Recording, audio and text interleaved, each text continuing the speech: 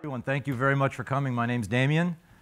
Um, how do you say the name of this presentation? Anyone? Darren, we already talked about this. You can't answer. Commutication. Commutication. Did you read it and think it was a misspelling? No, purposeful. Good. Whew. All right. I used to have a lowercase t, and I got a lot of comments like, you can't even spell the name of your presentation. That's probably not good for one on communication. This is purposeful. It's called commutication. Commutication is a portmanteau. That's a fancy word coined by uh, Lewis Carroll and Through the Looking Glass. It's basically a mashup of two words and two meanings. This is a mashup of the word commute and communication. Commuting is basically moving people around. Sometimes you move people from one location to another, like with cars. Commuting is basically moving ideas, imparting, exchanging information. Sometimes you use words. So the portmanteau, the mashup of commutication, is to try and indicate the idea that when you communicate, you're moving ideas from one head to another. And sometimes you use words to do that. So that's kind of a high level overview of what we're going to talk about today commutication, moving ideas with words. So, in the spirit of commuting, I've tried to lay this out like a commute, like a journey. So, we're going to talk about the destination, where we're going, the map, uh, the way that we're going to get there, the vehicle, the means that we're going to get there, and finally the driver. First of all, destination. Let's talk about Jean Baptiste Girard, an old uh, Swiss Franciscan uh, philosopher. He said, By words we learn thoughts, and by thoughts we learn life. I love this quote because I agree with it. I think that words enable us to learn more about life, and that is a, an overarching reason on why I'm very interested in language, semantics, communication, linguistics, these types of things. Some other reasons that we might be here deeper shared understanding. Everyone in this room, I hope that you already are uh, somewhat adept at communication. Today, you're going to get deeper understanding. And since you're all in the same room, it's going to be shared. We're all going to share in this understanding together. We're going to be better. Uh, another reason, uh, place that we're going is to be better understood and, and better understand others.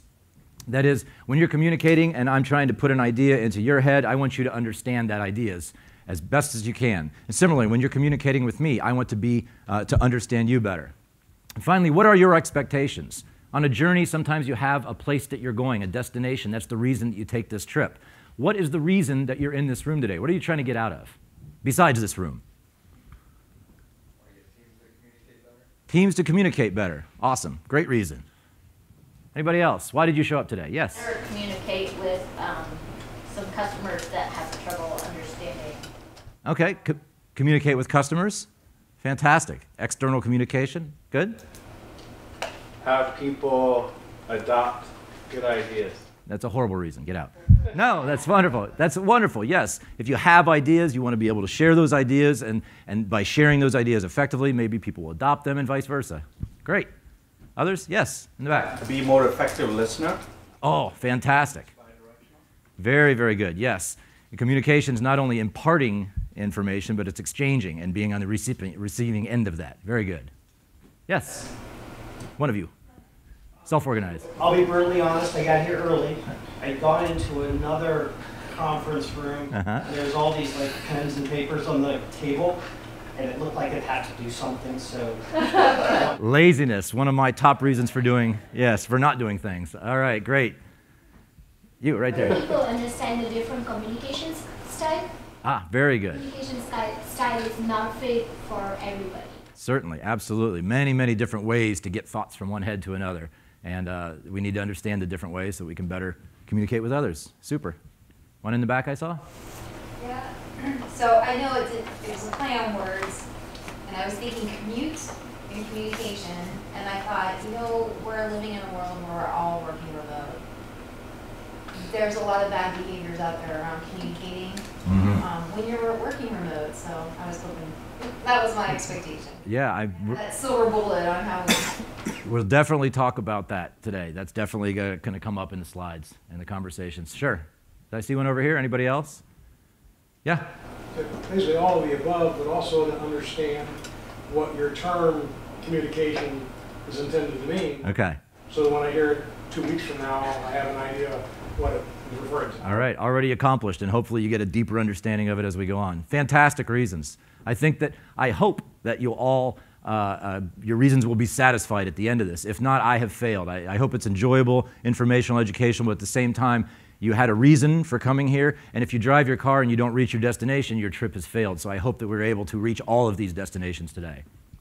Uh, map, how are we going to get there? I'm going to start with definitions, talk about words and the meaning, the, the glue that holds these uh, words and meaning together. From there, we're going to head over to Communication Town. I'm not going to talk about communication very much, which seems odd for a, a, talk on communication, but it's only set up so that we can talk about miscommunication. We're going to talk about what it is, how to identify it and recognize it, uh, uh, what are uh, some effects of miscommunication, and more importantly, how to avoid it or reduce miscommunication. And finally, at the end, uh, we're going to very briefly talk about common languages, the benefits, the uh, disadvantages of uh, common languages. The vehicle, how are we going to get there? This is Xunzi, Chinese philosopher. He says, Tell me and I forget, teach me and I may remember, involve me and I learn. Now, caveat this was designed as a half or full day workshop full of exercises and back and forth discussion and exploration and going off the beaten path to explore interesting ideas. None of that's going to happen today because of time commitment. I have an hour and a half, that's why I checked at the beginning. So this is going to be very unidirectional today, just me peppering you with information. However, if you're interested in a longer version of this, please see me afterwards because it is a great half or full day workshop with a lot of exploration, discovery, work. It's a workshop, guided discussion, discovery and exercises, exploration, all of these things that unfortunately I can't do in an hour and a half, but hopefully it's still very valuable to you. Finally, since I only have an hour and a half, a lot of the exercises, instead of just cutting them out, I have included them as a scenic overlook. If you're ever taking a trip, you might see one of these signs and you get out of the car and you're able to look into the beautiful valley. That's not going into the valley and experiencing it firsthand, but at least you can get an overview of it. So that's what I'll do for these exercises. I'll give you a scenic overview, a scenic overlook of what this exercise is so you get a taste for what the full uh, workshop experience might be. Driver, hi, I'm Damian. This is me in 2D, 3D. Uh, I don't have any pithy quotes, so that's just the name of my company. Um, here's a couple labels that might be uh, relevant for this situation. I'm a tester. I started testing in 1993 at uh, CompuServe. I dropped out of The Ohio State University and started testing full time. Over the last 25 years, I've been at 15 different companies in the same amount of industries airline, retail, finance, insurance, uh, all sorts of different industries, a lot of different methodologies I've used, a lot of different roles, a lot of different tools. Um, so I have a lot of uh, experience as a tester. I'm also an improviser. About 10 years ago, I took a year long training of improvisation where I learned to do what they do in Whose Line Is It Anyway, if you've ever uh, seen that show, creating something from nothing on stage. Um, uh, and now I use improvisation, the skills and principles of improvisation, in a lot of my talks and workshops. I use improv to teach how to communicate better, how to elicit and analyze requirements, how to do software testing. I'm also an artist. Um, not in this particular presentation, but I draw a lot of my own slides. I've just written uh, and illustrated my own children's book that I, I drew myself. Uh, I'm a son, a husband, a father. Um, uh, I obviously have parents, as we all do. I'm married. Uh, my two little kids are Alina, she's seven, Zachary is uh, just about five. And I'm an autodidact. Uh, as I said, I dropped out of university. This is all self taught. And to that point, there's a title up here that's missing is expert in communication, whatever that may be. I don't have formal training in communication, but I'm a voracious reader and learner. And let me tell you about the origins of this particular uh, workshop and this offering. About 12 years ago, I got married. Hooray! 10 months later, I got divorced. Boo. So, people deal with divorce in different ways. For me, it was very painful, and the way I dealt with divorce was introspection. I said, man, that was awful. That really stunk. That was painful. I want to avoid pain, as most of you do. So, how can I avoid pain? I started to introspect and do some root cause analysis on myself and dig deep. And I realized after some digging, it wasn't about the laundry and the dishes in the sink and all of these little superficial things.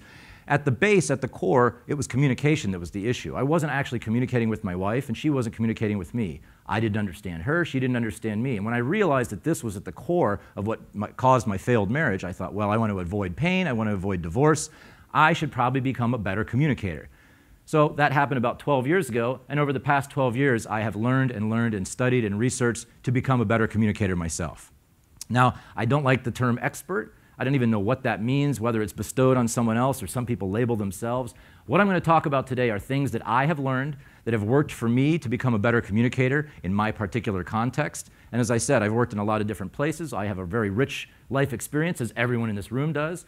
But these are things that have worked for me. If you happen to be in a familiar or similar context, then there's a good chance that they might work for you too. If not, maybe not. But maybe these ideas that I'm going to talk about today will inspire you to go and learn on your own and figure out how some of these things have a core idea that you can build on and become a better communicator yourself. Make sense? All right, travel games. We've already had our first scenic uh, overlook here. I usually start this by presenting these idioms. Anyone know what an idiom is? An idiom is a phrase that it uses uh, a common language, an understood language, where you might know the individual meaning of each word in the sentence, but collectively they might mean something very, very different. So, what I do is I ask everyone to read through this list, pair up with a partner, and try and find one that you already know, or you think you know the meaning of, or one that's unfamiliar to you. And you explain the sentence and the meaning of that sentence to your partner, and then they do the same back. And then we compare notes. We kind of debrief and say, who didn't know what this meant, and how did you go about learning what it meant? Were you right? Were you wrong? Did you have a common understanding? So that's the type of exercise that we do to start off to show that sometimes miscommunication can happen even with simple little phrases that have uh, non standard meanings. All right, let's start with definitions, words, and meaning. I'm going to go through definitions, some categories of them, some types of uh, definitions, and finally some characteristics. There's Socrates, Socrates. He says, The beginning of wisdom is the definition of terms. Another quote I happen to love. I think if you're going to start uh, attempting to gain wisdom, you should first know, understand the terms that you're using and what those terms mean. Not just what they mean to you, but what they mean to others as well. If you don't understand what a word means, or you're using a word and someone else has a different understanding and meaning of that word, then you're not going to achieve wisdom. You're going to talk past one another. So let's start with the definition of the word definition. How many people have ever looked up the word definition in the dictionary? You have? You are very rare. It's usually no hands go up, so it is very rare. So I looked it up in oxfordenglishdictionaries.com. That's my source for the definitions in this particular presentation. Definition in oxfordenglishdictionaries.com is a statement of the exact meaning of a word, especially in a dictionary. Now, even before I looked it up, I had a general idea of what a definition is. Somebody asked me, even if I didn't have a dictionary available, I'd say, oh, okay, I have an idea what it means. So I looked it up, and this is what it read. I said, all right, well, guess what? The definition of the word definition has a bunch of words in it. So I wondered, what if I look up each of those words? So the very first word after A that's interesting to me is the word statement. So I'm going to look up the word statement. Statement, a definite or clear expression of something in speech or writing. I'm trying to go deeper and understand what this word uh, definition actually means by looking up the words in the definition of definition. Getting too recursive for you? So now I have a definition of the word statement. I'm going to go back to my original definition and replace the word statement with that definition. Make sense? So now, a de definition of definition is a definite or clear expression of something in speech or writing of the exact meaning of a word, especially in a dictionary. Next interesting word to me in this uh, definition is the word exact. What does exact mean exactly? I have a general idea, but I looked it up in Oxford English dictionaries. Exact is not approximated in any way, it's precise. Do the same thing, replace the word exact with that definition. So I'm just replacing, if you think about it, variables with the, uh, the uh, value of that variable. Next word, meaning. Oh boy, what does meaning mean? Look it up. Meaning is what is meant by a word, text, concept, or action. All right, so the very first word I encounter is the word meant. What does meant mean exactly? Let's look that up. Past and past participle of mean. Okay, that's not terribly helpful. I didn't gain any extra information. It's not helping me get deeper understanding. So, what does mean mean? Intended to convey, indicate, or refer to a particular thing, to signify. Okay, what does intend? That seems like a very important word in this definition. What does intend mean? To have as a course of action, as one's purpose, objective, or plan. Purpose. That seems like an important word. Let's look up the word purpose. The reason for which something is done or created or why it exists. That's what purpose is. So let's back all, all the way out to the top and replace the word uh, um, meaning with the uh, definition for purpose. So, our definition of definition a definite or clear expression of something in speech or writing of the not approximate in any way precise reason for something for which something is done or created or which something exists. Following me? Getting a deeper understanding of the word definition? Deeper than you ever wanted, likely. Next word I'm interested in is the word word. What's word mean? It's a single, distinct, meaningful element of speech or writing and so on. I'm going to replace the word word with that uh, especially in a dictionary. I'm going to uh, skip over especially. The next word that's interesting to me is dictionary. What is a dictionary exactly? Okay. Detour. Have you ever been taking a trip and you hit a detour? You have to veer off your path and go somewhere else to get back to your path. This is what detours are in this presentation. They're interesting ideas that are only tangentially related to what we're talking about communication. I didn't want to drop them out because I think there's some learning there. So this is our first detour. I'm looking at the word dictionary and trying to understand what is a dictionary. Well, which dictionary? I happen to be using oxfordenglishdictionaries.com, but there's a lot of different dictionaries. Speaking of that, this is John Ralston Saul. This is my favorite quote from him Dictionary, opinion expressed as truth in alphabetical order. Now think about it. Why is there uh, Webster's? Why is there Cambridge? Why is there Oxford English Dictionaries? Why is OED? Oxford English Dictionaries online is different than OED. Why are there specific dictionaries? Why do different dictionaries exist? Because language and meaning is subjective. Ultimately, there's a group of editors somewhere in a room, and they've done etymology. They looked at origins of words and how they've created and how they've changed over the years, and they've come to some conclusion and said, this is what cat means, and we're going to write that in our dictionary. Somewhere across the pond, another group of folks is sitting in a room, and they've done the same exercise, and they say, this is what cat means to us. Why doesn't cat just have one meaning? This is useful if you're ever in a meeting or talking with someone and they say, ah, that's not what regression testing is. Regression testing is, and they give you a definition, as if that is the global, worldwide definition that everyone understands it to be, instead of just their understanding or one dictionary's particular understanding. To prove this out a little bit more, let's look at the word dictionary. Here's four definitions of the word dictionary in four different sources. OED, a book which explains or translates, usually in alphabetical order, the words of a language. Okay. The next one, Oxford Dictionaries, the sister publication to OED a book or electronic resource. They've added that in. Ah, very modern of them to add that in. Electronic resource that lists words of a language in alphabetical order. Merriam Webster, very useful for American English. Oxford and Oxford English dictionaries are better for uh, British English, and they uh, provide a lot of history and etymology of the word, where Merriam Webster typically, typically does not. Merriam Webster says a reference source in print or electronic form containing words usually arranged in alphabetical order. What about dictionary.com? Has anybody ever used that to uh, pull a uh, definition from? I love this. A book, optical disc, in case you're in the 90s, mobile device, or online lexical resource, such as dictionary.com. They promote their own product in the definition. I thought that was kind of amusing. So I like this detour because when you think about which dictionary, it really drives home the point that there is no singular, worldly, worldwide accepted meaning for any word. There's no definition that everyone will agree to. It's a matter of perspective, a matter of subjectivity, a matter of editors in a room somewhere, and that's important to you when you're trying to communicate with others. There's no single definition for any word that you're using. All right, back to our huge blown out definition of definition here. A definite or clear expression of something in speech or writing of the not approximate in any way precise reason for something is done and created, or for which something exists of a single distinct meaningful element of speech or writing, especially in a dictionary. Whew. That's a mess. So I'm going to clean it up a little bit a clear expression of the precise, intended reason for which a single distinct meaningful element of speech or writing exists. So what is a definition? It's the whole reason that the word exists. Why does this word exist? Why is the definition there? Because the word is there. They exist because the other one is there. Now compare that with the original definition from oxfordenglishDictionaries.com, a statement of the exact meaning of a word, especially in a dictionary. Do you feel you have a better understanding of the word definition now? After I did this exercise, I certainly felt like I understood the word definition a lot better. Now, as I said, I did this particular exercise. I call it definition dissection, where I dissect all the words in a definition and I recursively go down and then back up. And sometimes I do that. Uh, I look up a word, I look up the definition, I look up the first word in that and the definition, the first word in that, the definition. I go down till I start to loop back. I don't expect you to read this, but this is what it might look like uh, if you represented this process graphically. And what you start to see is some of these, you can't see it here, loop back. You start to hit words that have already been defined higher up the chain. And if you start to do this process, you'll find out that eventually everything's related. All words are related, all meaning is related. So it's very interesting to realize that when I say any single word, it's just a placeholder, a, represent, uh, uh a representation of a larger idea. That larger idea can, present, can be thought of and expressed in words, which themselves are just a, a, placeholder for a larger idea. And it goes on and on and on, never ending. It loops back on itself and it never ends. Every single word you say is packed with infinite meaning. If you think about the fact that anyone can communicate with anyone else, it's almost miraculous because every word I'm saying is packed with so much meaning. And I sure hope that you share the same meaning that I understand that word to mean. If not, we might be talking past one another.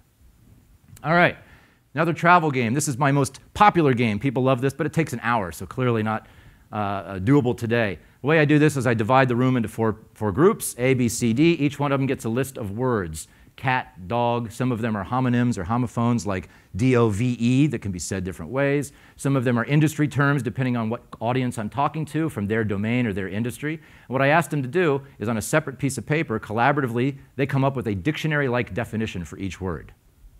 After they've all done it, they have to talk and say, I think that cat means this, and uh, regression means this, and quality means this, and they're writing down their definitions. I take all the definitions and I shift them one to the left, and every group now has a list of definitions and an empty sheet, and they have to write down the word that matches that definition. It's harder than you think. Then I have a set of words, and I shift those left, and everyone has a new set of words, and they have to write down a definition. Then I take those definitions, shift them a final time, and the last team has to write down a word. And oftentimes you'll get this, uh, it starts with the word pen. Someone will write down an instrument used to write. The next group will say, well, that sounds like a pencil. So they write the word pencil, and the next group will write down something that you write with, and the last group will write pen. So it actually comes back to the original. But it's interesting when you use words like quality or value, or bug, defect, issue, problem. Do you use those words in your workplace? If you had to do this exercise with the people in your workplace, do you think that you'd all come to the same definition? Do you think you'd all come defect, defect, defect all the way to the end? I bet it's going to be difficult. And in fact, I've done this dozens of places all over the world, and it's very often that these words change meaning. And it's very enlightening. The debrief is the best part of this, is seeing how these words evolve and change based on different perceptions.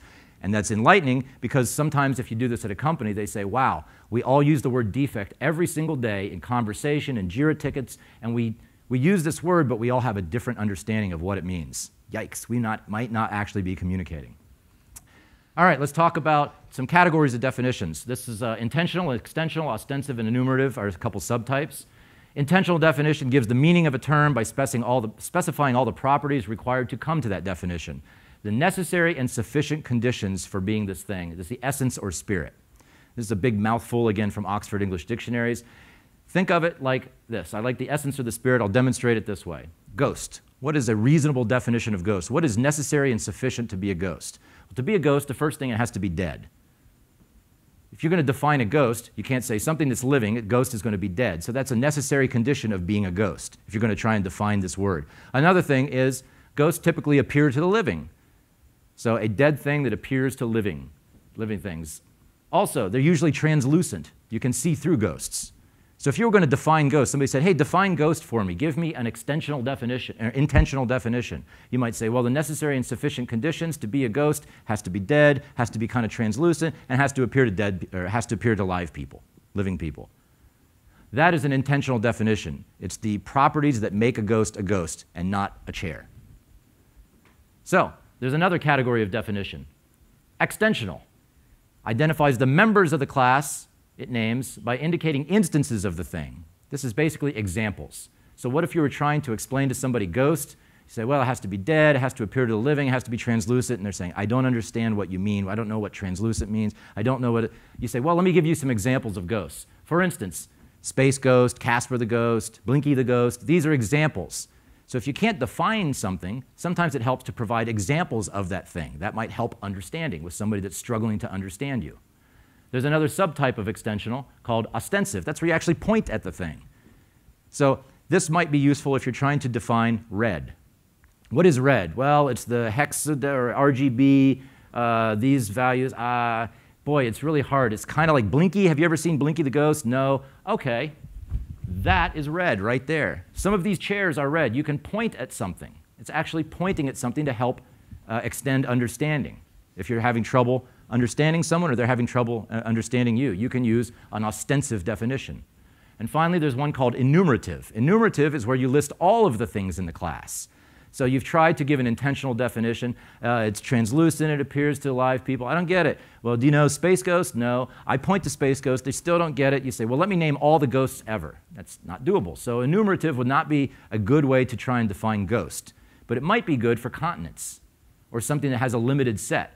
I don't understand what a continent is. You've given me a definition, you've told me Africa and Asia. Well, if you named all seven of them, you say that's all seven of the continents. That might be another way, is provide someone with an enumerative definition to help foster understanding.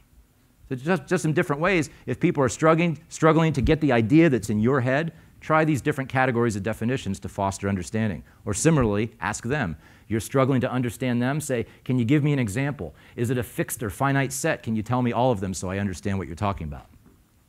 Ah, there's continents. All right, uh, types lexical, precising, stipulative, and persuading. First one is lexical. Lexical is what you might find in a dictionary. You open up Merriam Webster, what you're looking at are lexical definitions. For instance, here's ghost again the spirit of a dead person that someone sees or hears. That's something that you might find in a dictionary. The next type I would like to talk about is precising. Precising is when you add information to a definition to make it more precise. For instance, it used to say the spirit of a dead person that someone sees or hears. Now I've made it more precise by saying the usually translucent spirit of a dead person that someone sees or hears. I've made this definition more precise, more robust by adding information. Precising is very useful uh, when you want to take a definition and make it precise for a particular purpose. For instance, if you think about the definition of student, student might be someone that attends uh, a place of higher learning or a, a university or something like that. However, at a movie theater, they might define student as someone over the age of 18 that attends a university or something. Why? Because maybe they have price breaks or they can't get in certain movies. They have provided a more precise definition of that. That leads into stipulative. Stipulative is when you bestow meaning on an existing word or coin a new word. So, ghost, the usually translucent spirit of a dead thing. That doesn't have to be a dead person, now it's a dead pet or a dead plant. I've stipulated that for the remainder of this uh, talk, every time I say ghost, it means any dead thing. Don't just think about people. I have stipulated the meaning. So I've taken an existing word with an existing definition and I've applied my own meaning to it. This is also how new words are coined. People say, I've come up with a brand new word and I stipulate the meaning to be this. No one can argue with them and say, that's not what that word means because they've stipulated it. There's a great passage again from Lewis Carroll where he talks about if I open a book and at the beginning the author says, for, for the remainder of this book, every time I say black, it shall mean white. Every time I say white, it shall mean black. I have to humbly agree and understand that that's what the author means by those words. They have stipulated the meaning of those words. This is useful if you are working in a place and you're arguing over what does defect mean, what does bug mean, are they synonyms, do they mean something different? Come up with your own new word. Coin a brand new term and stipulate the meaning that you can all share. No one can argue with you because you've stipulated it. Or say, whatever bug used to mean in the past, we're going to stipulate that it means this within the boundaries of our company so that we can better communicate with one another. Finally, persuasive, the usually translucent, unholy spirit of a dead uh, thing that someone sees or hears. This is persuasive language. This is emotive language, subjective language intended to persuade or manipulate someone, how they think about something.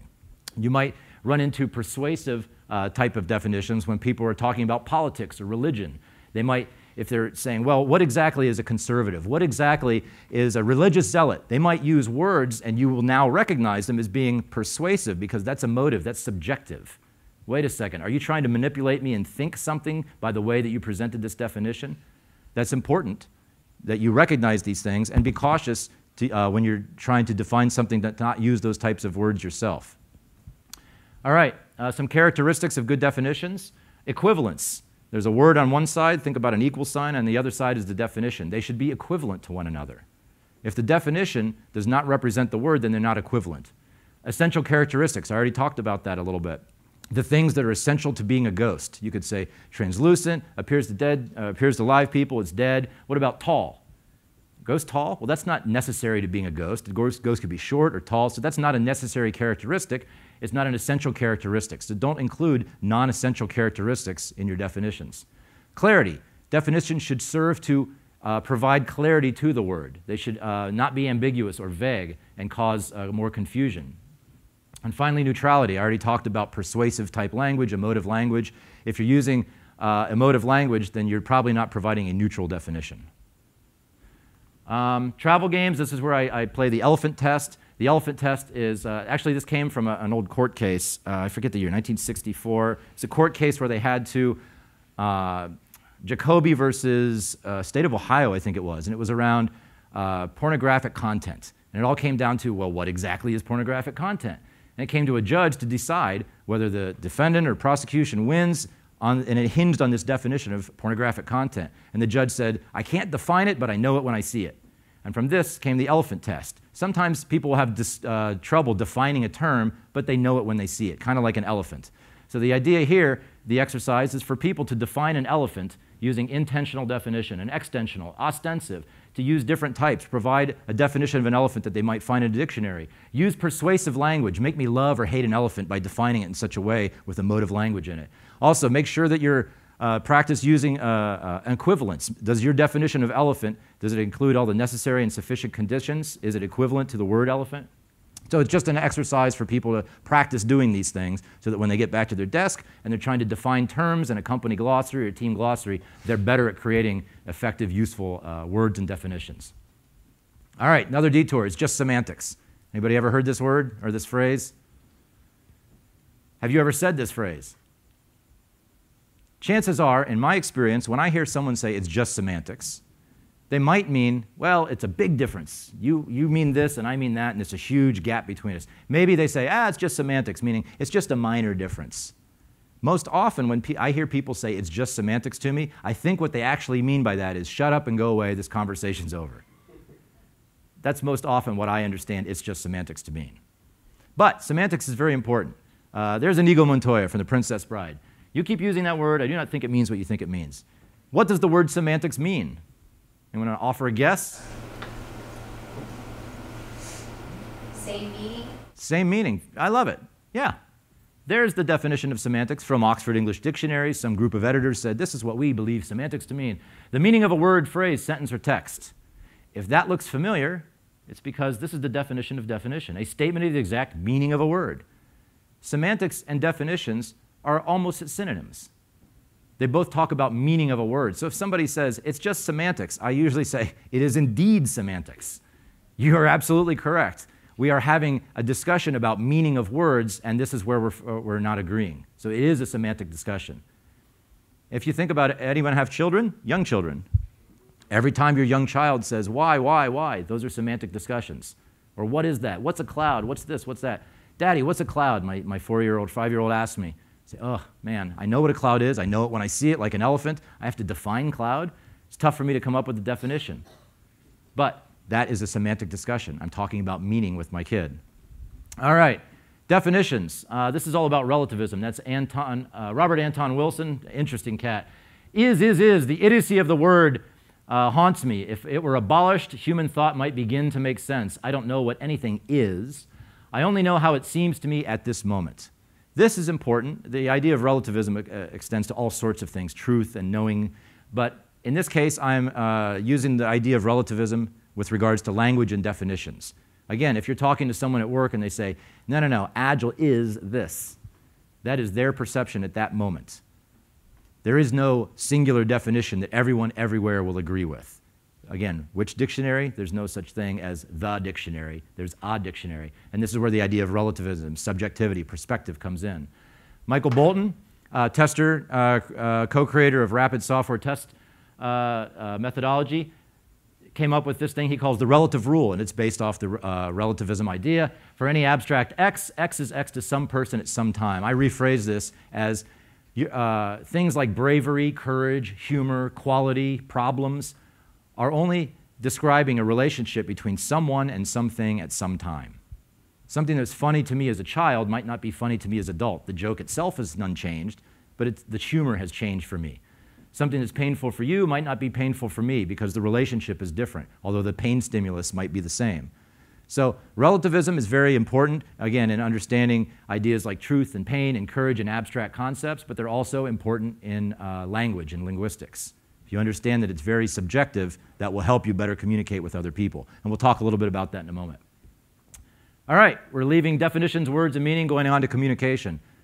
I'm going pretty fast. Is everybody all right? Questions, comments so far? All right, I'm floating. Communication, we'll talk about, again, thank you, Socrates. Start with the definition. We'll go on to talk about some models of communication and then how we communicate. Communication, the imparting or exchanging of information of news. Thank you, oxforddictionaries.com. Uh, I like this one. I found this in another source. The act of transferring information from one place to another. I like that because it made, it made me think of commuting. So I kind of like that definition. It fit in well nicely with this presentation. All right some different models. Again, this is my own experience, my own research. People dedicate their entire careers, sometimes lives, to researching these different models of communication. I have not. I know just enough to be dangerous. Here are a few different models that people have put together that try and explain how we get one idea from one head to another. There's the transmission model, SMCR. I'm not going to read them all. The only one that's a little bit different is the Satir interaction model. I'll speak about that. They're all different. Uh, they generally all build on the, the one that came prior and they add more information in a more complex model. But here's something that they all have in common. Generally, they all have some idea of a sender sitting on one side. And the sender has some idea in their head and they encode it using different words and they send this message across some particular channel. They choose some medium to send this message. The channel might have noise that's interfering with the message and decaying it, and the receiver gets it and they decode it, and this is roughly how we communicate, regardless of which model you look at. Here it is graphically. Again, you got your sender over there. He has this idea. He decides the words that he wants to use and he encodes it, sends it through some kind of channel. It's interfered with. This guy gets it, it's decoded, and he says, Ah, this is the message you've sent me. Now, there's a lot of things that can go wrong in this process. A lot can go right, but a lot can go wrong. I said earlier, it's almost miraculous that we can communicate with anybody ever because so many different things can go wrong. For instance, if everything goes really well and he has a clear idea, uses the, uh, good words uh, with meaning that they share, and he sends it through a channel that's appropriate for their uh, communication and it doesn't have a lot of noise and the message gets to the other person with very little decay, and they're able to decode it, guess what can go wrong? This. This is Satir's interaction model. The person intakes the information, the message, and the next thing is the past experience, uh, their uh, experience, their bringing, their context, uh, influences the meaning, significance, and how they accept that. So everything goes well, and I say, hey, we should really start a fire tonight. And I use the right words to say it, and I send it through a message, and they got the, every word exactly as I intended it, and they decode it, but their dog just died in a fire last week, and all of a sudden the word fire has a much different meaning for them. So even if everything goes right over here, I can't control their past experience. I can't control how they interpret the words that I and my intentions of those words. This is why communication, again, is almost miraculous that uh, because of the satir interaction model, you can't control how someone interprets the words that you say. Okay, how do we communicate? A lot of different ways. What's the best method of communication? Talking. Like, talking how? What's that? Out loud, okay? You, vocalization, verbal. Face to face, I think I heard somebody say. Cool, yeah? What if you were to remove the boundaries of reality? Use your imagination. Telepathic, ding, there you go. Telepathy. Can you imagine if we could communicate via telepathy? Wouldn't that be great? Be scary, yeah. We wouldn't have to rely on these crude words and all that. This would be great. Uh, if you use your imagination, this is a tongue in cheek kind of fun section, but if you use your imagination and say, wouldn't it be fantastic if we could communicate by telepathy? We would all understand each other so well. But if you start to think about it and break it down critically, it starts to fall apart pretty quickly. Like if you think, if I have an accent, do you hear it in my accent? What if I speak a different language? Forget about accent, and you don't speak that language. Are you able to understand me?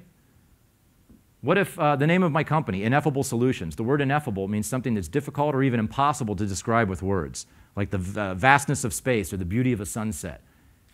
So, what if I'm trying to describe, using crude words, the, the beauty of a sunset, and I say, forget about words, just read my mind?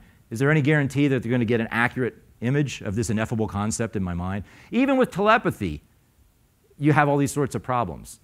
And I'm not going to spend more time. I go deeper into it and I let the audience suggest problems with telepathy. But we don't have telepathy. We are stuck with words and even cruder forms of communication. Miraculous. So, something very close to telepathy is an idea called ideesthesia. You may recognize it uh, by the term synesthesia. Has anybody ever heard of that term? Synesthesia? Okay, synesthesia is an older term. This is the newer term. What it is is a mixing of senses uh, in the mind that makes you uh, have one input uh, interpreted as another. Uh, the most common one is people that uh, see numbers in different colors or different textures. The number nine is very blue, and the number seven is very wooden and hard. So they're getting textual and color information from seeing or hearing a number. Somebody says seven, and they, they think and, and feel these colors or a warmth. They're mixing their senses. That's why it was called synesthesia. Sesia is the mixing of something. Syne is the Greek word for senses. Ideesthesia is the new term because it's more that the mixing doesn't happen in the sensories, it happens in the brain. Your ideas are mixing.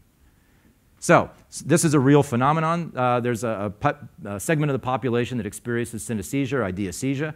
I'm going to give you the next closest thing, uh, an experiment by Ramachandran he's done uh, uh recently. These are two characters. One of these characters is named Bouba, and the other character is named Kiki. Now, I have not told you which character is which, but by a show of hands, what's the name of this character? Kiki. And? I didn't tell you, but I would say that most of you, if maybe all of you, came to the same conclusion. You were able to vocalize a name, come to some deduction over uh, the names of these two uh, uh, blobs, these two uh, characters here, without me telling you. How was that? Why did you know or assume this was Kiki and this was Bouba? Sharper. So sharper points on a visual image. Your eyes are taking this in and I said the word kiki, that's auditory, and somehow you took this visual image and you matched it with an auditory signal and you said those two things go together. And Bouba? Kind of roundish sounding, yeah, kind of round like this. And again, same thing. You're matching an auditory and visual signal together in your head and you're mixing them up. So this is very close to ideesthesia. This is one way uh, communication happens. All right, let's get to some more realistic ways. Nonverbal. Nonverbal communication. What if I came to you and said, Hey, it's really great to see you. You think it's really great to see you? Because I'm slouching. What about my voice? It was low. I was talking slowly. So the pitch, the volume, the cadence of your voice, there's all sorts of clues and cues that can be built in, extra information into the message. What if I said, hey, wow, I really hate your guts? Same type of thing. There's a lot of nonverbal communication that happens. At that point, there's uh, Paul Watzlawick. One cannot not communicate. What do you think that means? Always communicating. Once one living creature has been made aware of another, communication has begun. Even if there's great distance, I can't see you, I can't hear you, I can't smell you, but uh, I mean, I can see you, I've been made aware of you. Or maybe I can't see you, maybe I'm only smelling you communication has begun. I can smell you, so that smell is telling me something about you. Or maybe I can't smell you, but I can see you in the distance, and maybe you can't even see me. Communication begins instantly. Judgments start to happen. I start to form opinions. So one cannot not communicate. Once it's begun, you can't stop through nonverbal communication. If someone's walking towards me, I can't smell them. I, can't, I haven't heard them. They haven't talked to me yet. But if they're walking towards me like this, communication has begun. I might want to uh, might want to watch out because they're coming for me. Nonverbal communication is very important. There's a lot of information built into it. Think about how this works in your workplace. You're proposing a new idea in a meeting or one on one, and the person is sitting in their chair and they slowly are changing their position to this or to this. Or if you're communicating with somebody and you're talking and they start doing this. What are they communicating? they don't like it, or maybe they're confused. Nonverbal communication can tell you something about the other person, and you can pick up on that. Hey, do you understand what I'm saying? It looks like you might have questions, or is this something that you're not interested in? What, what uh, you seem reserved, and how do you know that? Your body language. Now, this is a heuristic. It's not a formula or an algorithm. It doesn't necessarily mean maybe they're just their back hurt or they just wanted to change their position. But sometimes these are indicators that can lead you to uh, better understanding. Say it with feeling. Another uh, scenic overlook. I have uh, a deck called the emotional deck, and it has all these different emotions on it, and I pass it out. And anyone that wants to play, it's, one's angry, one's suspicious, one's excited. And everyone that wants to play will one at a time stand up and read this exact same sentence, but they have to ev- evoke the emotion on the card. And the rest of the crowd has to try and guess that emotion. This is a way to show how much information is built into nonverbal communication. So one person might say, We have enough food to last for a week? What was I? Unsure. Yeah. Now, what's interesting about this game is when the person had unsure in their card and they went, I have enough food to last for a week, and the other person says angry, it's like either they are bad at reading body language or this person's body language and nonverbal communication was not enough to express the fact that they are unsure. That can cause miscommunication, both on both ends, receiver and sender. Uh, verbal. We're talking about verbal right now, face to face communication. Again, the tone, the volume of your voice, the cadence, the speed at which you speak packs a lot of information into our messages that we're trying to get back and forth between each other. Written, what about all caps? Does that say anything? If somebody writes something in all caps, the taboo. What's that? Important, serious. Yeah, potentially. Again, it's a heuristic. It doesn't necessarily mean that. It maybe just means that the cap locks is, is stuck or something like that. But it's a heuristic that says maybe there's more information that I need to be reading into this message. What's a problem with written communication? What are you missing? The intent? How, how so? Explain that. Well, because you don't, you're not able to see what, what someone means when they're not directly speaking to you. So, Mhm. you know, on text message, you could think someone's upset when really they're just telling you something. Exactly. Yeah. You're missing all kinds of other nonverbal uh, cues. Same thing with a phone. You can hear their voice, but you can't see that their face is all twisted up, perhaps, or their body language. So these are uh, worse ways of communicating rather than face to face or, oh, wouldn't it be great telepathy? And finally, words. That's the focus of today's uh, talk. We, we, often use words. Now, as I said uh, in the earlier slide about myself, I'm an artist, I'm a husband, a son, a father, an improviser. There's a lot of different ways that we communicate with each other. As an artist, sometimes I draw pictures or I sculpt, and what I'm trying to do is communicate a feeling or an idea to somebody without using words at all. But today we're talking mostly about words that are one of our primary ways of getting one idea from one head to another. All right, oh, another detour. Meaning without words. There's uh, Wittgenstein. The limits of my language means the limits of my world. What do you think he meant by that? He chose these words. He had an idea in his head. He said, I'm going to encode this idea with these words. I'm going to send it through this medium. And Damian put it up on the slide. And you are all the receivers. You're getting it. You're decoding it. What's the meaning? What meaning did you get from this quote?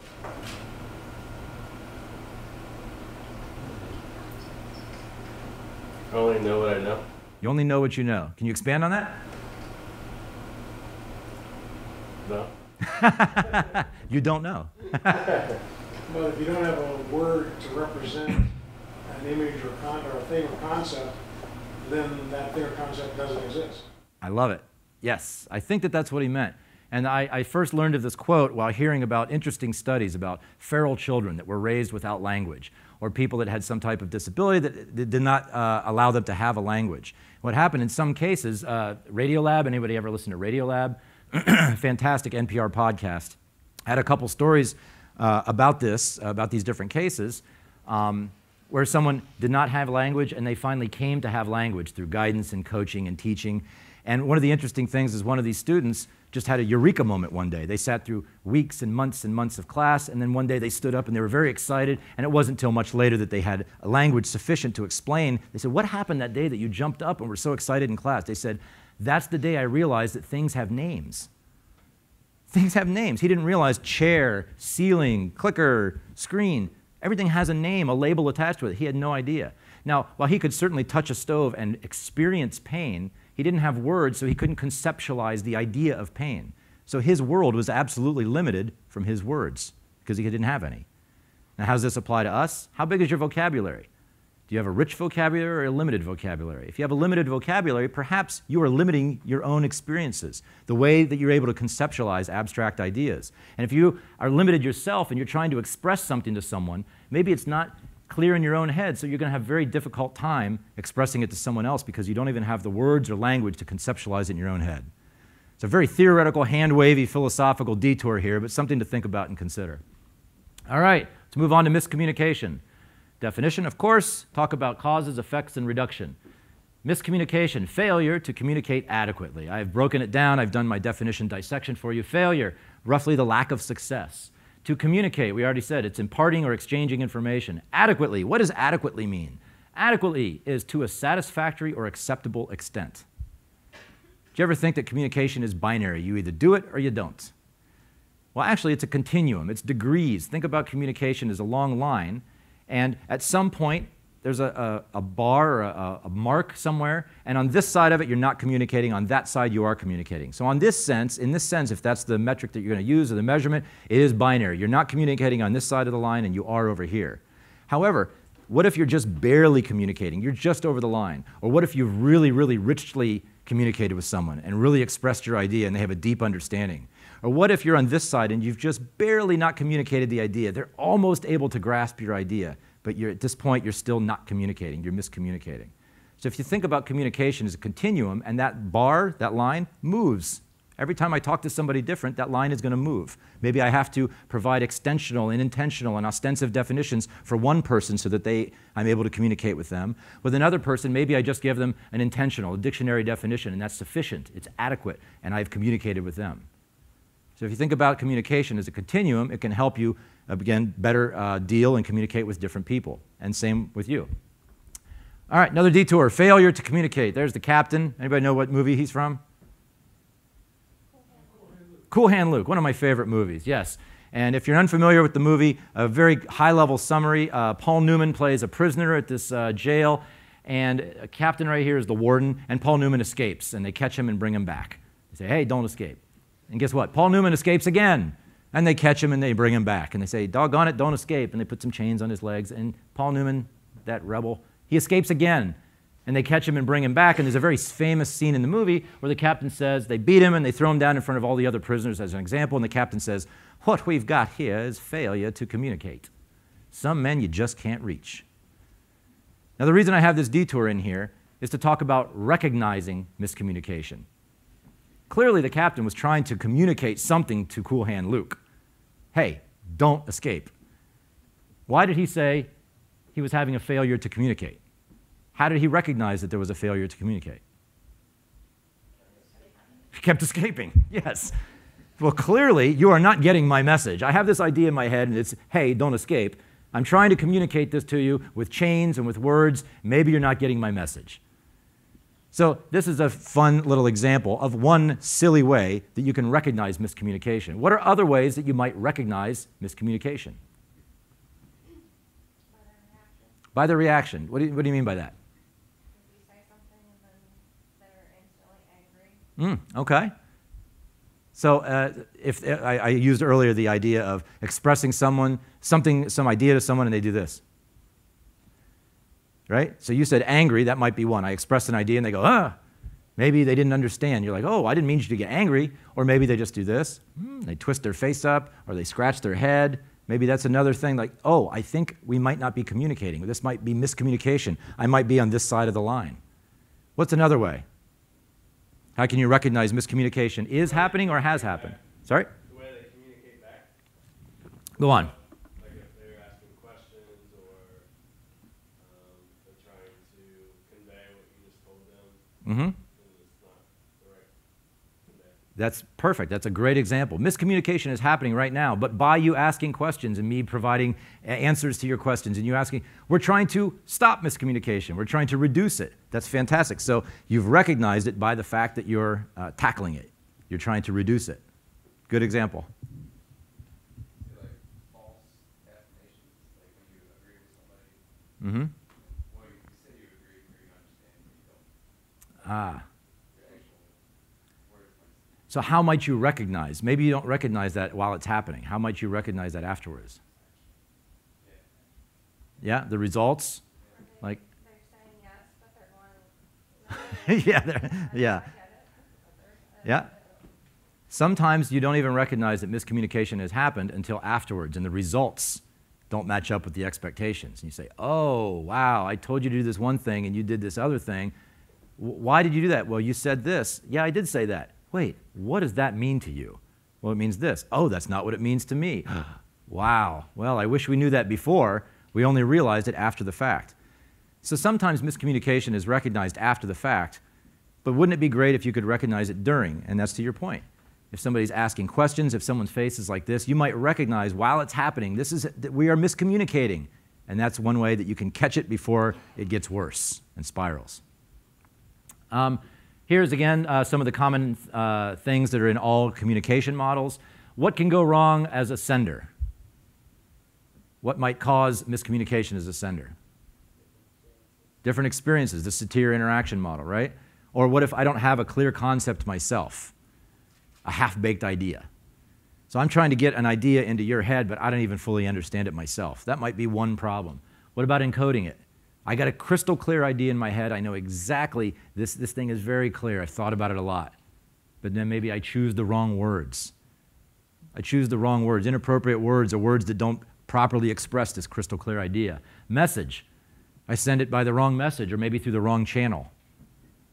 I, I use something that's very important and I text you rather than call you so you can hear the urgency in my voice and you didn't get that through a text message. Or what about noise? I choose a channel that's being uh, degraded in some way.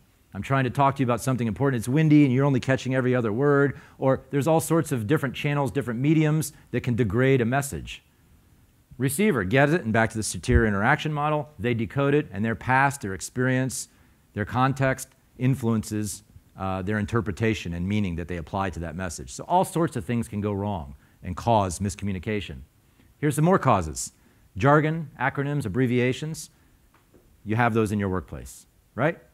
Does everybody use acronyms and jargon and abbreviations? How about when you have a new hire? You think that might cause miscommunication with a new hire that's not familiar with your company acronyms or your industry jargon? Would you say, if we were to play that round robin game and I put some of your company terms or jargon on that definition list, and then you wrote down a definition and passed it to someone else on your same team, your same department, would they be able to recognize that your definition is that term? That jargon, that acronym? Maybe not.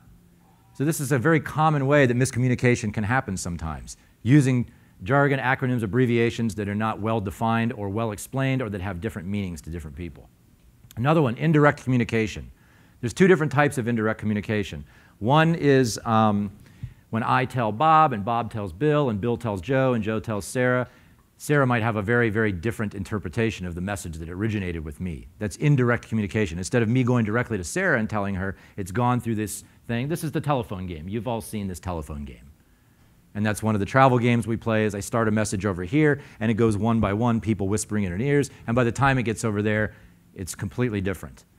Now, that can happen just for natural causes. There's uh, the channel that we've chosen, whispering in someone's ear. There's ambient noise in the room. Sometimes I ask the rest of the audience to clap or snap to make it harder for the two people to hear to hear what's being whispered. So the channel is inappropriate. It's being degraded by noise. Sometimes I get a, a, a conspirator in the room and I say, I want you to purposely change a few words. What about people that might have an agenda in your company? And you're doing indirect communication. You tell Bob, Bob tell Joe, and Joe thinks it's a bad idea, so Joe tells Sarah something different that's more in line with his motives. So there's all sorts of indirect problems with indirect communication, but there's another type of indirect communication which is more devious. If I was to say to my wife, boy, it takes a long time to drive the kids to school, and boy, oh boy, the, the grocery store is so far, and ah, the commute to work is such a drag. She might say, Are you saying that you'd like to move? Do you, do you want to move so that maybe we're closer to these things? I say, Yeah, that's what I'm saying. I wasn't being very direct about it. I was indirectly communicating an idea by telling you all these things around it, beating around the bush. That's another way that indirect communication can cause miscommunication. If I was saying work is far and the kid's school is far, but she didn't get my message, I might not be communicating. I might be miscommunicating. This is Skype. This is uh, a game kind of like the telephone game where I have a group of people line up, and this time it's all about nonverbal communication. Everyone faces the wrong uh, away from me except for the person in front, and I do a series of body movements and hand movements. Then they have to turn around, tap the next person, do the exact same ones, and it goes down the line. And always by the end, it's completely different movements, just to show that even non-verbally, messages can change because of indirect communication. Miscommunication can occur. Accents and dialects. Uh, my father came over on the boat from Greece when he was 19, and to this day still has a very, very thick Greek accent that's very difficult for a lot of people to understand. This sometimes causes miscommunication with even me, his son. And it could oftentimes cause miscommunication with the diverse workplace that we all work in. Accents and dialects, sometimes it's not someone from a different country, it's someone from a different region that may have idioms that they use or ways of speaking that are very difficult to understand, and sometimes that can lead to miscommunication. How can you go about solving that? Ideas? We'll talk about ways to reduce miscommunication, but I'm just interested. How might you go about uh, getting around this cause of uh, miscommunication? Open, open discussion about just being honest with the person saying, and you do, it's no offense to you, I'm having trouble understanding, just having that open discussion that sometimes I mishear what you're saying, Mm-hmm. or even like openly say, what does that mean to you? Yeah. If it's a word that you think they're saying that means something different to you. Mm-hmm. Yeah, and I'll, that's exactly one of the ways I suggest later. We'll talk about ways to reduce miscommunication. Sounds easy. It's easy sitting in this room to say, just ask them or explain that to them, but social norms make it not so easy. It's not always that easy to tell someone on the third time, what? Say, listen, I'm sorry, I'm having difficulty understanding you. So sometimes you have to uh, go over these very difficult social hurdles to facilitate better communication and avoid miscommunication. Uh, oh, George Bernard Shaw, a funny quote. England, America, two countries divided by a common language. I like that.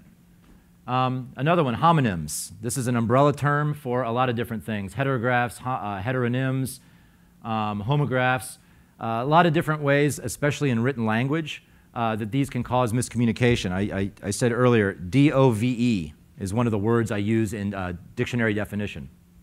What is that word, D O V E? Or dove, yes. So if that word is on a piece of paper and people are saying, ah, a white bird with feathers, and they're trying to write that down, somebody else might say, well, I read it as jumping off of a diving board. So sometimes uh, those heteronyms can cause miscommunication. What about bark? What does bark mean?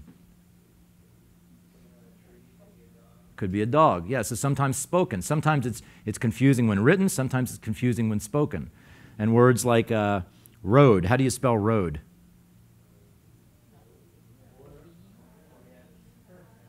R O A D, R O D E, R O W E D. There's all sorts of spoken. So this is just a, uh, a, a, another way that miscommunication can sometimes happen. Might seem unrealistic, but I have encountered real examples of this in my own life. And this leads to garden path sentences. Again, something that uh, is a, a, very niche type of uh, miscommunication. Doesn't happen often, but when it does, it's very devious. Garden path sentences are sentences that you're reading and you're walking down the garden path. Imagine that you're walking down a garden path as you read the sentence, and all of a sudden it takes an unexpected turn.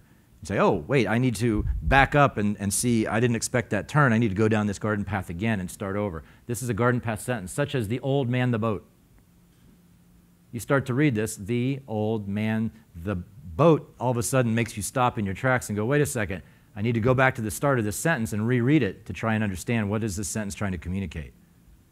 What is this sentence trying to say? There you go, yes. Here's another one. The complex, well, just your houses, married and single soldiers and their families. That's a tricky one. There's a famous one time flies like an arrow, fruit, fruit flies like a banana. That's a very famous one. That's an example of a garden path sentence. I just see Joe Hours in the back there. Joe recently turned me on to a wonderful article just a few days hot off the presses.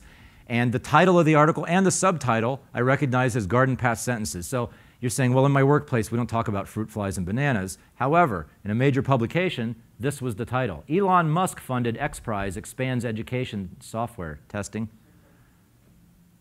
It made me stumble when I read that the first time, as did the subtitle. it has teamed up, Elon Musk has teamed up with various organizations to test software kids and use to teach themselves. I had to go back and read that several times. It's very difficult for me to parse and make sense of it. So it does happen in real life, and it could cause miscommunication. McGurk effect. I'm not going to click on this, but this is essentially a, a pop culture name for uh, bad lip reading. Again, if you choose an inappropriate medium and you're doing face to face communication, the most effective form that we have at our disposal, using words face to face so they can see you and hear you and watch your body. Sometimes, uh, if you don't hear the word, you might read their lips, and the McGurk effect can still cause miscommunication. It's when you misinterpret the movements of the mouth and, with the uh, words that you're hearing or not hearing. Uh, grammatical errors. There's Groucho with his famous quote One morning I shot an elephant in my pajamas. How I got in my pajamas, I don't know. How many people here have wonderful grammar, never make typos or mistakes? Yeah, I didn't raise my hand either. Email, text messages, Slack is now a very common form of communication.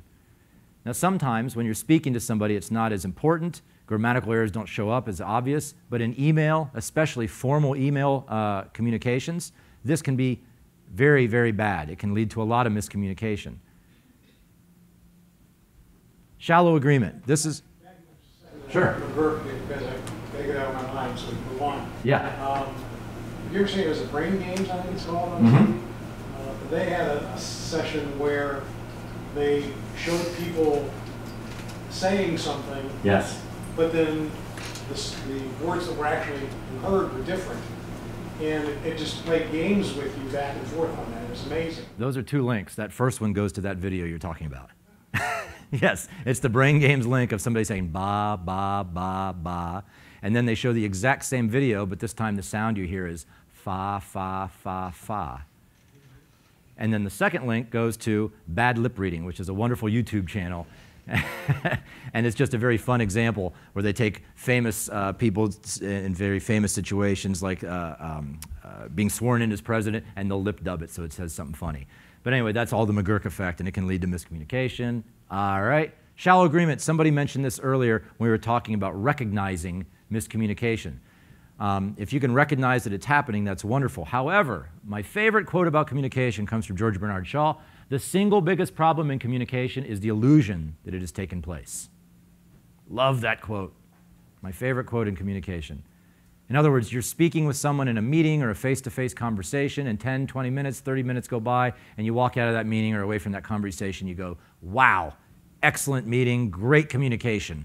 We really shared ideas. And you don't even realize that you didn't at all because shallow agreement um, was happening. You were using words and you had meaning attached to those words. That person heard the word, but they had different meaning attached to the words, but you never clarified that you had different meaning attached to the same word. That's shallow agreement. So sometimes you don't recognize that you miscommunicated until after the fact. You walk out of that meeting, that went great, and then two days later they did something different. You go, Why did you do that? Well, didn't you say this? I did say that, and I did that. Wait a second. Maybe we had shallow agreement during the meeting. Maybe we actually didn't recognize that we were miscommunicating. Okay, what are some effects of miscommunication? Uh, historic, mine and yours, I usually open it up for people to share theirs. I won't do that today. Historic, are you ready for a surprising effect of miscommunication? There you go. Hiroshima and Nagasaki is one of the most famous examples, linguists know this. That happened, and you can trace it back because of a miscommunication, a mistranslation.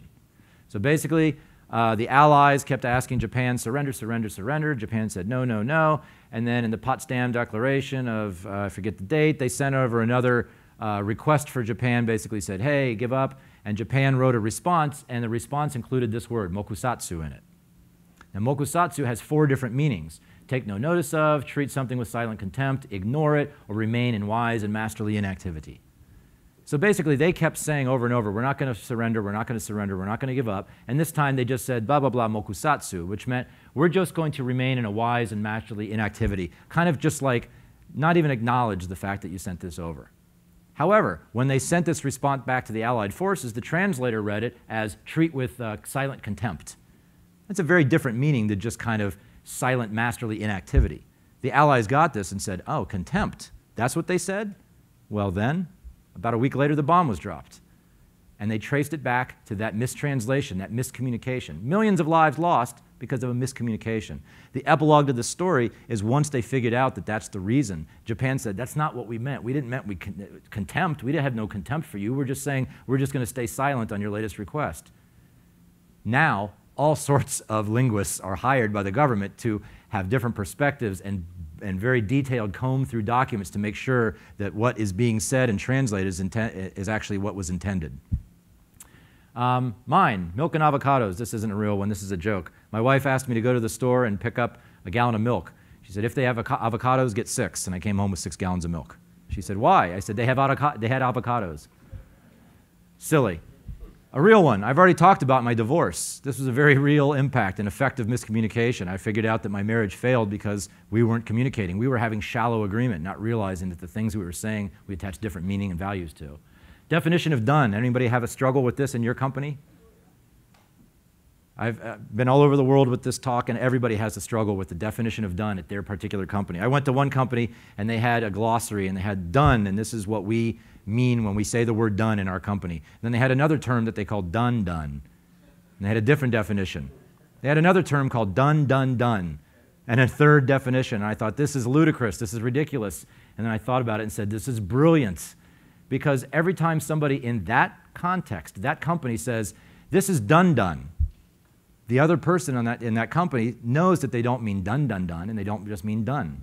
They mean exactly done done. They've come up with a shared common language, and we'll talk about that in a moment, to be able to better and more effectively communicate with each other. They have created stipulated definitions for these terms. So it's brilliant. I was uh, helping review a document, a multi page document in a room, and we were all going through, and the author was reading it out loud on the overhead, and he came to this phrase we need to culturally encourage HR to blah, blah, blah. And I said, hold on a second. What do you mean by culturally encourage? What does that mean? And he said, oh, well, culturally encourage, and he talked for 10 minutes explaining it. Oof. That 10 minutes that you just talked was all packed into those two little words. There's no chance that somebody reading this document is going to have 10 minutes of meaning packed into those two words. You need to expand that meaning in your document. If that's what you mean, nobody's going to understand all that meaning in just those two words. Um, finally, yours, I'll, I'll, skip that part for today, but I'm sure that each of you has examples where you didn't recognize miscommunication was happening, you only recognized the effects of it afterwards. All right, when to reduce miscommunication? Uh, first, consider the audience, the environment, the risk. Is it always appropriate uh, to communicate? Is miscommunication okay sometimes? What might be an advantage of miscommunication?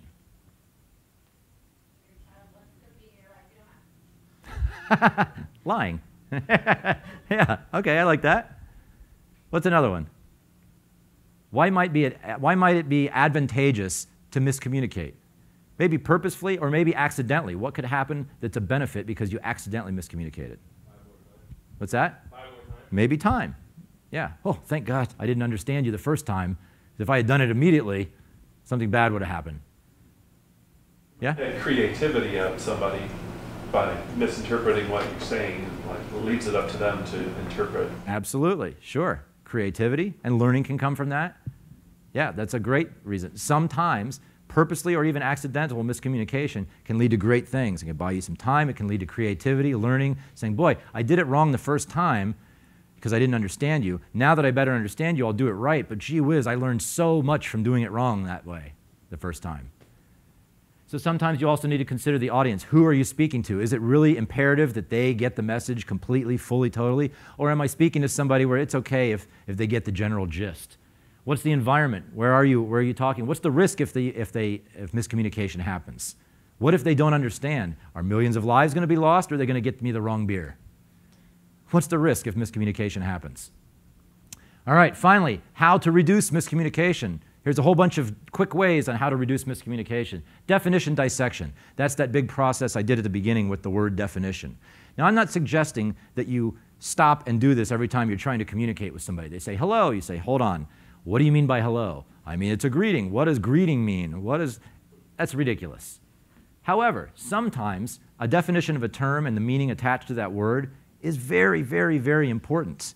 If it's very important, then going through this process might make sense. Taking the time to get deep, deep understanding by doing this recursive type of thing, maybe in a group setting, can give you much deeper understanding and better be better understood and better understand others. So definition dissection is one way to get deep understanding and reduce miscommunication.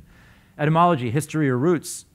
I found it very helpful to look up sometimes the origin of a word to better understand, ah, this is where it came from, this is how it's evolved. OED, not Oxford English Dictionaries, but OED, which is also available online for a subscription or a library card, is very good at this. They trace the history of, of words and they show obsolete words, words that have rare definitions and the more common definitions. They have a little rating system. Sometimes that will give me deeper understanding of the meaning behind a word or why someone might say that this word means this to them. I look up the history and I say, oh, I can see why you might attach that meaning to this word. Yes, absolutely. Yeah, and I end the presentation with that same game at the very top, the idiom game again. Now you have a, a, richer tool belt, maybe some new tools or tools you already had are richer, and you're able to use those tools to play the idiom game again. Exactly that. Um, synonyms. Sometimes, if you're struggling to communicate with someone and you feel like you might be miscommunicating, use synonyms. I don't understand that word. Well, here are three or four words that are basically the same as that. Uh, that uh, game Say It With Feeling, where I hand out cards that have emotions on them, they have a couple different things. One might say angry, but it doesn't just say angry because there might be someone in the crowd that doesn't know the word angry. So it also says frustrated or upset. So three kind of words that all mean roughly the same thing.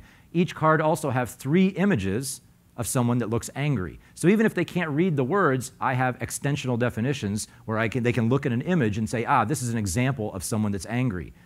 So they can get up and read, we have enough food to last for a week. Even if they don't know the words, they have images or they have synonyms. Sometimes antonyms are a good way. If someone doesn't understand what you're trying to get across, what a word means or an idea, give them the exact opposite if such a thing exists. That might help them. Okay, you're really struggling with this idea. It's not this idea. And you explain that, and they say, oh, that helps me better understand the idea that you are trying to communicate. Asking, my number one go to tip ask. But again, social norms make that difficult. Sometimes asking someone can be very difficult, especially in a group setting. Raising your hand in a meeting where you feel like you might be the only one can be very tough. However, it's also the most effective. Just ask. I don't understand what you're saying. Can you please explain it? Or if you are the sender and you see someone's face twisting up, or you sense that they might not be mis- uh, might, miscommunication might be happening, ask them, do you understand what I'm saying? I don't mean to insult you. I don't mean to talk down. I'm just asking so that we don't have shallow agreements, so that we can avoid miscommunication. Ask. Examples, extensional, uh, ostensive. These are, again, two different categories of definitions. If someone's struggling to understand an idea, give them examples of the idea. This is kind of um, uh, specifications and requirements documents. These are, in essence, intensional definitions. You're defining some product with a bunch of definitions in the form of requirements and specifications. You know what a mock up is or a prototype? Those are extensional, ostensive defin- uh, definitions. Now, I read through the specifications and I read through the requirements. You have this idea in your head for a product. You've written some of these ideas down explicitly on a piece of paper and called it the requirements or specifications document. I'm still not getting it. Well, let me make you a mock up so you can see what I'm talking about. An example. Those are another way of expressing ideas. Um, explain, describe, use precise definitions. Someone's struggling with a definition, explain it to them. Explanations is different than a definition. And be more precise. I don't know what a ghost is. Though it's dead and appears to the living, it's translucent. Say, it also could be uh, unholy. It also could be give more information. That could help them. Be careful not to, you can stipulate, but be careful not to use persuasive, emotive language. But help them by describing something by using precise definitions. Paraphrasing. Sometimes, if someone's struggling with an idea, uh, or, or someone's talking to me, I've done this several times at the conference already. Someone's asked me a question or someone's made a statement, and I say, Can you say that again using different words? They, oh, sure. And they say the exact same idea, but using different words. And maybe that helps me better understand their question and better able to respond and communicate with them. Maybe it helps me better understand the statement that they've just said because they've said the same thing in two different ways. Sometimes I'll ask others if I see their face twisting up or I sense miscommunication might be happening, I'll say, let me try and state it a different way, and I'll paraphrase. Similar to that is metaphors and analogies. Someone's struggling to understand an idea in one context, switch the context to something that they might be more familiar with using a metaphor or analogy. So you're struggling to understand testing and test scripts, and it's a series of it's a, it's a series of steps with expected results, perhaps. And okay, are you you cook right? Okay, so you have recipes, and recipes have do this first, do that second, do that.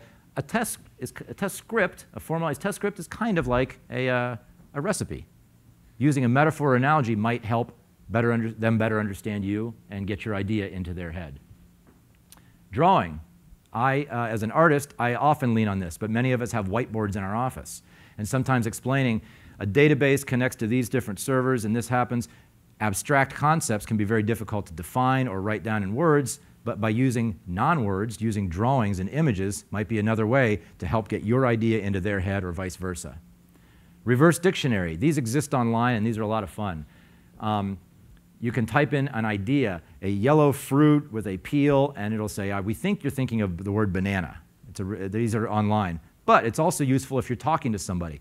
This happens to me sometimes.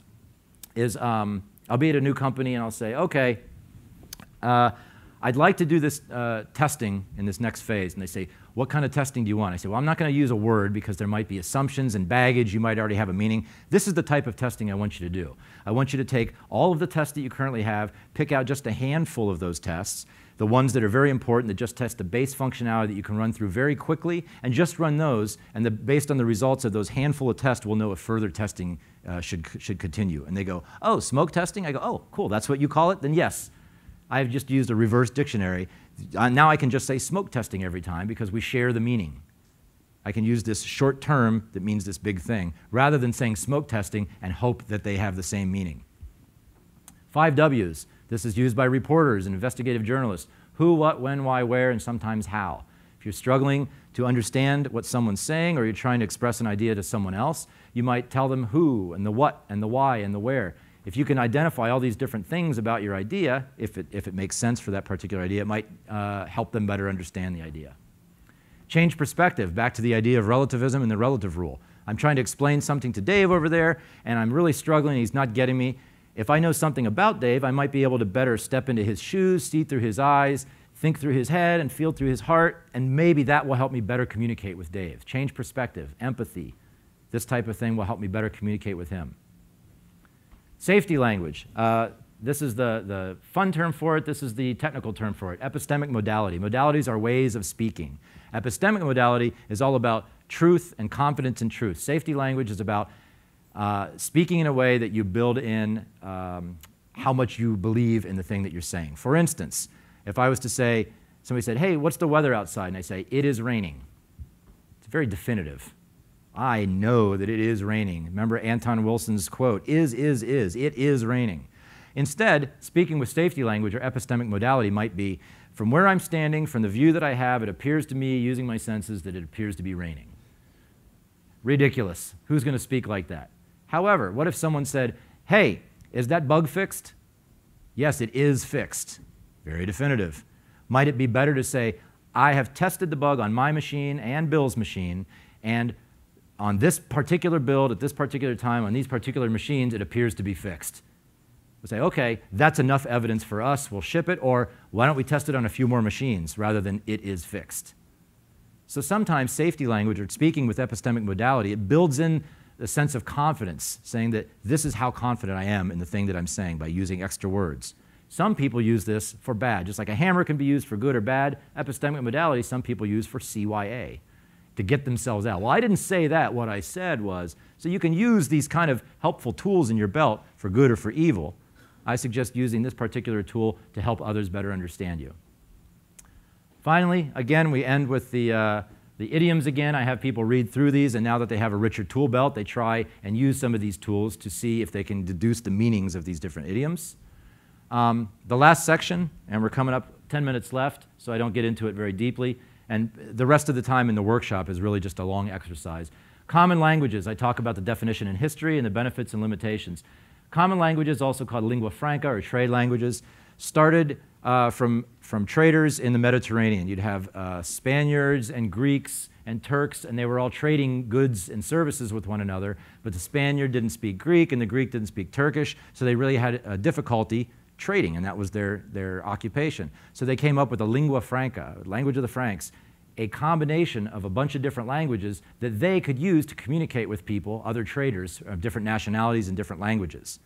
And it enabled them to do their profession, to trade goods and services. However, when the Greek got back home to Athens and he went to his wife, he could not speak that common language that he used on the boat with the traders from Italy because his wife didn't share this common language, this shared language.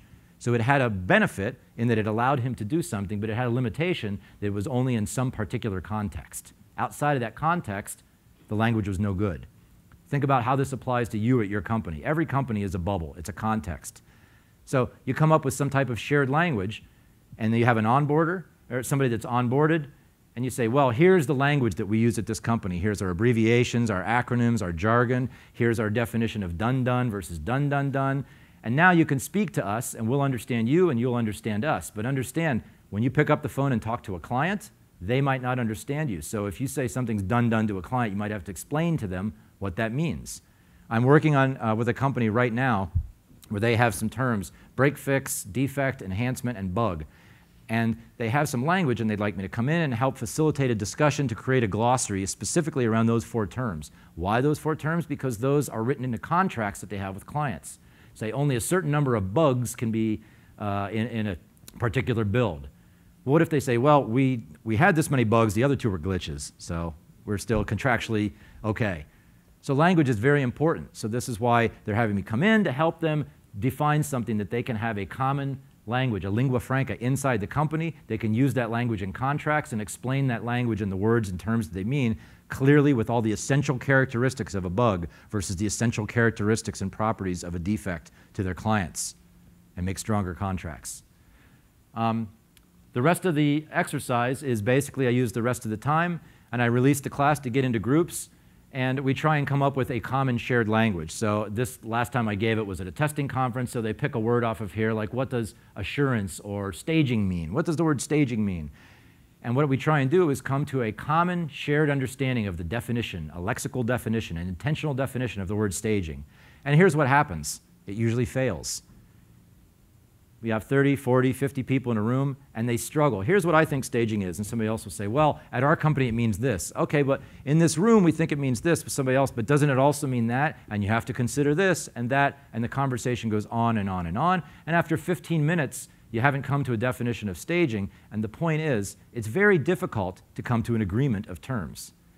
But that shouldn't be a reason to give up. I believe having a common language in your context, your team, your department, your company is very important to help others better understand you and you understand others. So keep at it because I think it's very important. So we're at our destination. Hopefully, you've gotten a deeper understanding of communication. It's shared with all the other people in this room. As soon as you walk out of this context and this bubble, no one's going to understand uh, anything that we talked about. Uh, hopefully, you are able to better understand others and be better understood. And hopefully, a lot of you have shared your expectations why you came today. I hope that those have been fulfilled as well. Thank you very, very much for your time. Uh, please come see me if you're interested in a longer version and Q&A for the last 10 minutes or so.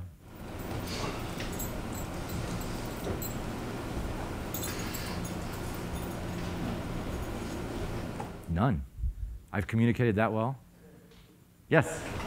Um, what would you recommend for a good strategy when you're in an organization where you have people who have been there for varying lengths of time and they're, over time, names of things have changed to come up with a common, I guess I'm looking to maybe create a common dictionary or glossary of terms. So Mhm. people say, when they say this, for you, it also means this or this or this.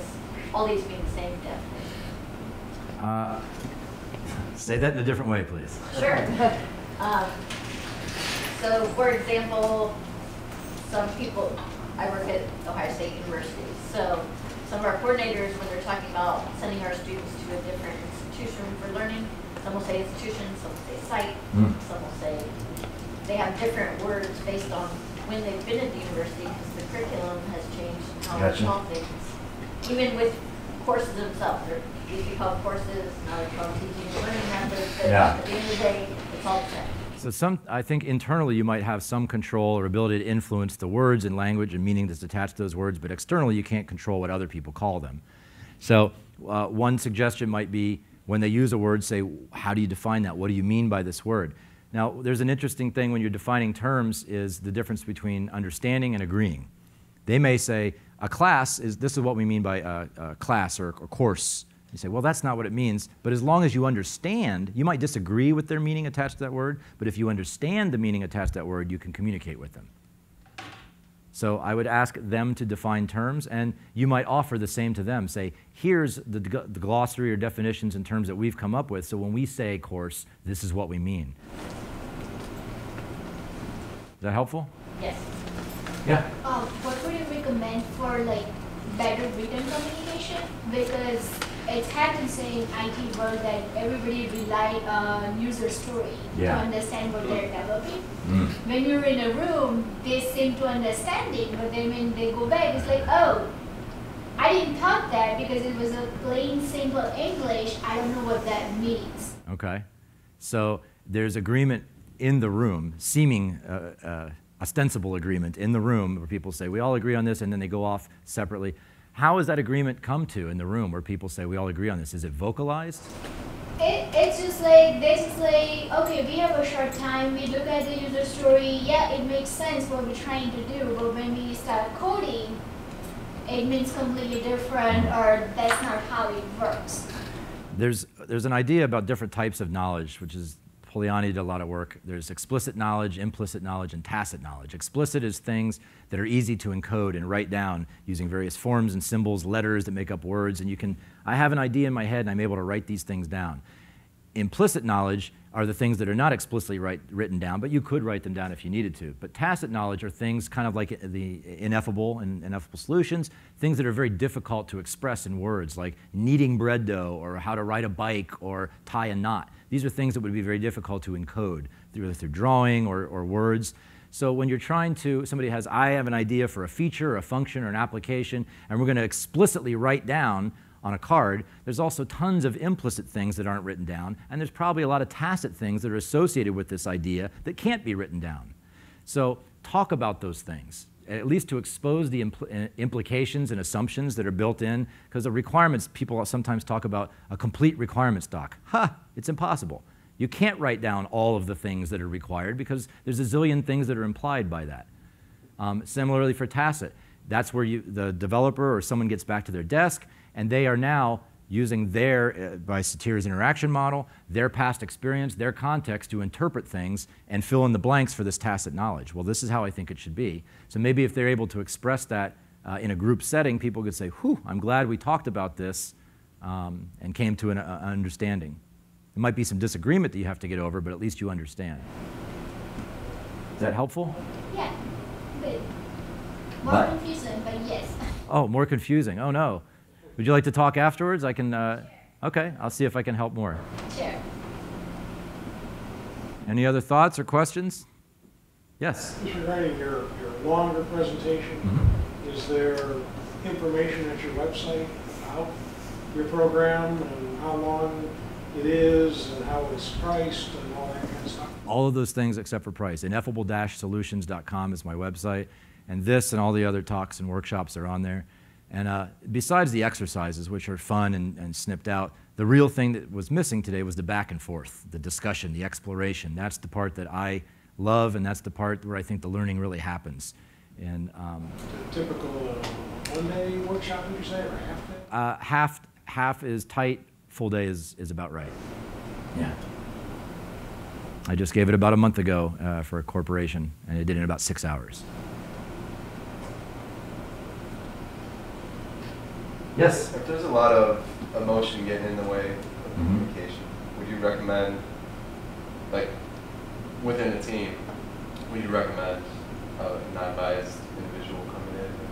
That can help. Uh, I think emotions are necessary. In fact, they're impossible to eliminate. There's a whole nother talk I have, uh, The Hidden Requirements Exploring Emotions with Placebos, where I uh, dig into emotional considerations when building software, building, designing, testing software. And in fact, none of us are completely logical. No one's Spock, no one's Data. Everyone, you can't even function without emotions. They help you decide and, and live your life and think what you think and say what you say. So I think emotions are important, but they can also get out of control, which can cause problems. So sometimes an unbiased observer, unbiased observer, uh, is helpful in the room to help um, kind of facilitate that conversation. And also understand if there's emotions, what's the reason for those emotions? That might be very, very important. If someone is being very emotional about, I totally disagree with this definition or this meaning, I don't, well, what is causing that anger? They must feel very passionately about that for some reason. Try and get to the root of that because it's not coming from nowhere.